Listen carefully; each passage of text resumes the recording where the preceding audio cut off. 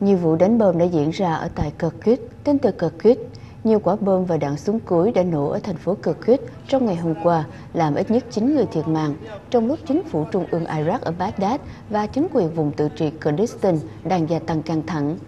Chưa có tổ chức nào lên tiếng thừa nhận trách nhiệm các vụ đánh bom.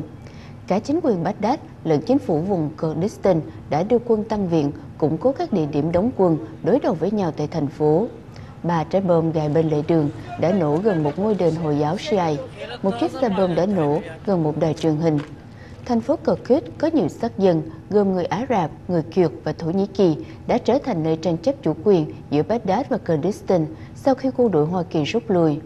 Trưởng ty y tế Kirkuk cho biết có 6 người chết và 30 người bị thương, nhưng một viên chức của cảnh sát nói rằng ít nhất đã có 10 người chết. Các vụ nổ đã xảy ra khi một chiếc xe bị gài bom phát nổ, làm cho hai dân quân Peshmerga của người Kiều bị tử thương. Mặc dù được sống trong ba tỉnh tự trị, người Kiều cho rằng thành phố Kirkuk phải thuộc vào lãnh thổ vùng Kurdistan.